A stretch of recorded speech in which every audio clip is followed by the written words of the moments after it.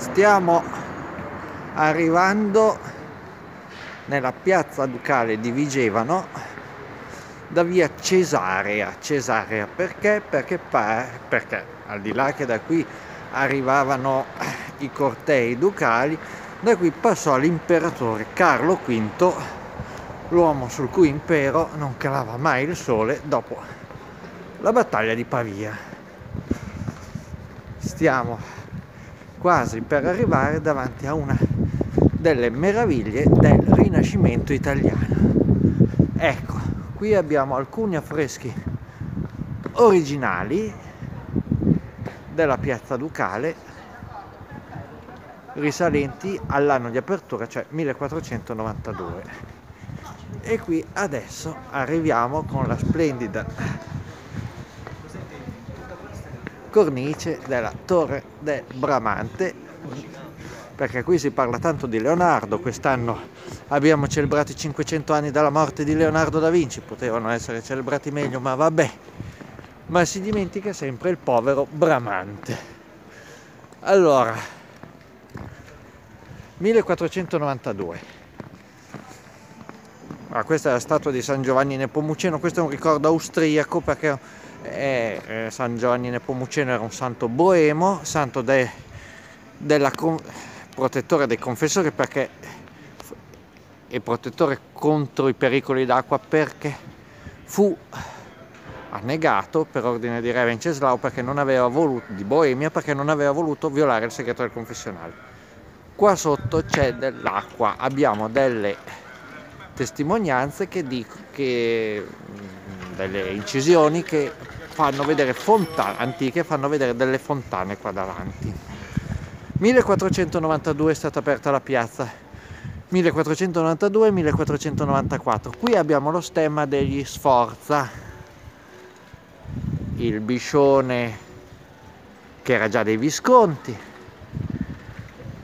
la vipera che il milanese accampa, come diceva Dante Alighieri, non sappiamo bene da dove derivi, secondo alcuni era il simbolo di un guerriero eh, che portava sullo scudo un guerriero saraceno, infatti il biscione dovrebbe mangiare un arabo, un guerriero saraceno ucciso da Ottone Visconti durante la crociata. Gli Sforza prendono il simbolo dei Visconti grazie al matrimonio di Francesco Sforza con una Visconti e si fondono le casate milanesi.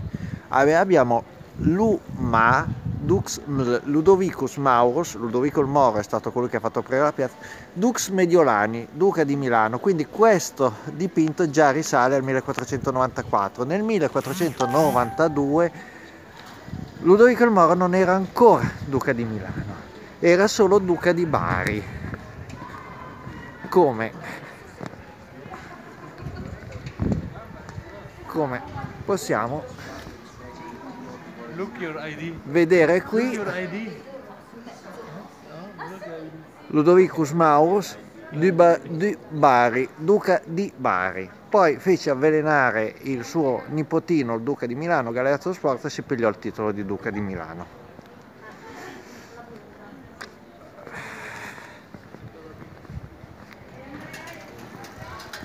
abbiamo delle piccole figurine. Cosa raffigurano ovviamente nella moda dell'epoca imperatori romani. Qui vediamo Vespasiano. Imperatori o personaggi romani o simboli.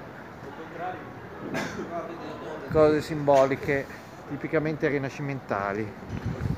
Di là abbiamo la cattedrale di cui si parla sempre meno. Perché rinascimentale e barocca assieme. La facciata è barocca. Dietro c'è ancora la vecchia facciata rinascimentale. Vigevano è stata elevata diocesi da Papa Clemente VII, Giulio dei Medici, il Papa che si subì il sacco di Roma e dovette avere ed ebbe anche qualche problemino con Enrico VIII d'Inghilterra. Uh, venne elevata a diocesi nel 1530 e Ambrogio da Lonate, uno degli architetti del Duomo di Milano tra l'altro, si occupò della parte rinascimentale del modellino nel Museo del Tesoro del Duomo. la facciata doveva fare da contraltare al, alla parte civile ben rappresentata poi dalla torre di Donato Bramante, torre che sarà lei a essere il modello per la torre del filarete. Andiamo a vedere un attimo la facciata.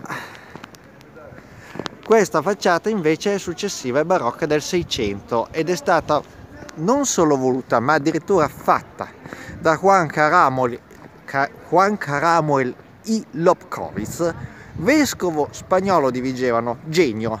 Si parla di Leonardo, ripeto, si parla tanto di Leonardo ma si dimentica il Caramuel, che prima di Leibniz scoprì il calcolo binario, era un musicista, era un matematico, era un letterato, era un poeta, era un alchimista, era uno che l'ha mandato a Vigevano perché era una diocesi piccolina e come sempre i, i veri grandi vengono puniti e non premiati. L'Italia, sappiamo bene, è la terra della mediocrazia pur avendo tanti geni. C'è questo paradosso del nostro paese, anche se era spagnolo, comunque la mentalità più o meno è quella. E lui pensò a questa facciata come una quinta teatrale. Una quinta teatrale. Barocca, bellissima,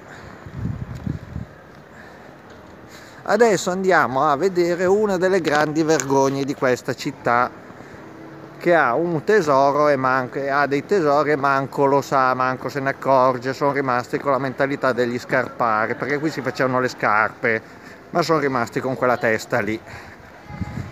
E dei tesori e delle cose di cui andare orgogliosi non se ne accorgono. Stanno facendo andare in rovina un sacco di roba. Andiamo a vedere.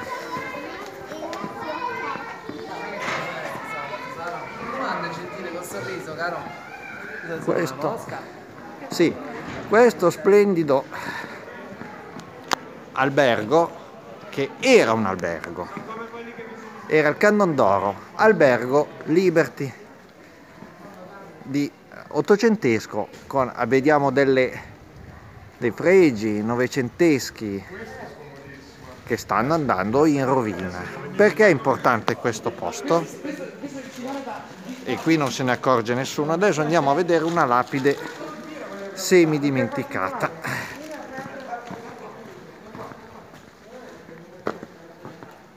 Qui nacque la grande, la divina Eleonora Duse. Se ne sono sempre sbattuti i coglioni di questo, i signori qua, perché adesso vedete c'è un mercatone cinese dove nacque Eleonora Duse. Ah no, c'è anche non dimentichiamo, eh, giusto per par condicio. C'è anche la Deutsche Bank. Poteva essere ristrutturato, poteva essere adibito a qualcosa di importante, no. Una volta era una stand, era un UPIM, è sempre stato un supermercato, non è colpa solo dei, dei cinesi che l'hanno preso adesso, hanno fatto solo il loro lavoro. Qui è colpa dei vigevanesi che mai hanno valorizzato questo chiudiamo la passeggiata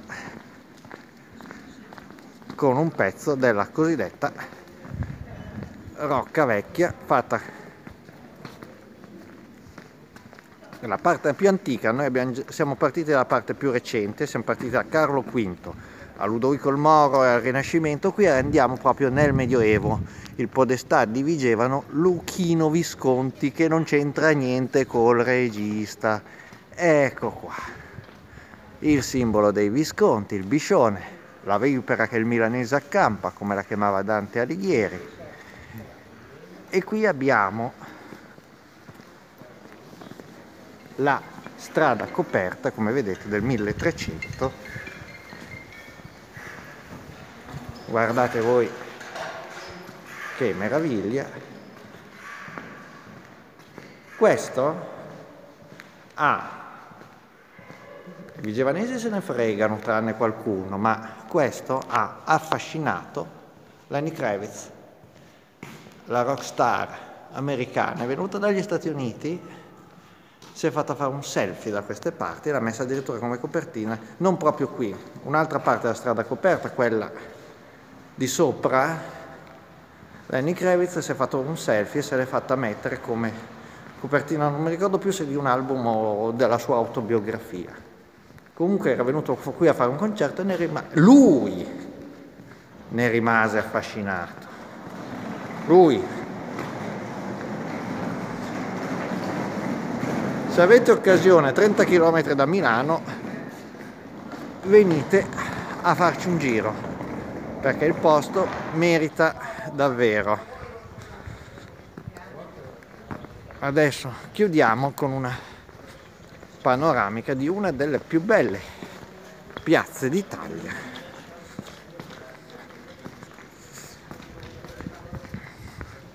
Cosa che ho dimenticato di dire prima, adesso il Duomo è chiuso, uh, il Duomo è dedicato a Sant'Ambrogio che è il patrono di Vigevano, il patrono come a Milano, il patrono di Vigevano. Qui abbiamo un Sant'Andrea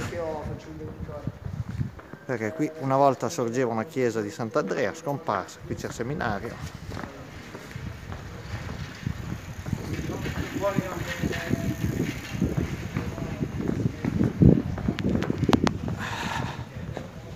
E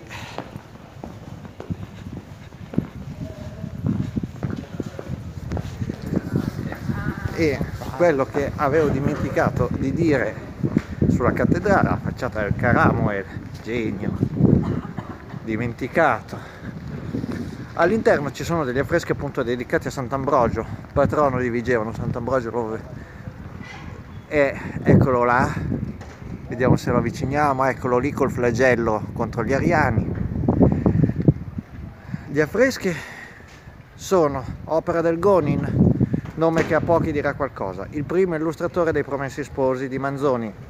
Fu in accordo con Manzoni. Questo era Regno di Sardegna, Gonin era piemontese, era un valdese convertito al cattolicesimo se non ero, insomma un percorso simile a Manzoni. E, e ha affrescato la parte alta, poi ci sono affreschi più antichi, eh, però adesso non possiamo vederli perché la chiesa è chiusa. Ancora chiamavano il salotto d'Italia torre del Bramante.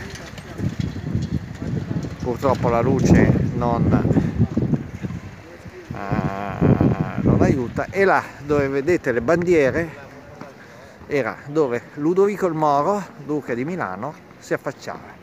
Bon, spero che vi sia piaciuta questa piccola gitarella interattiva. A presto!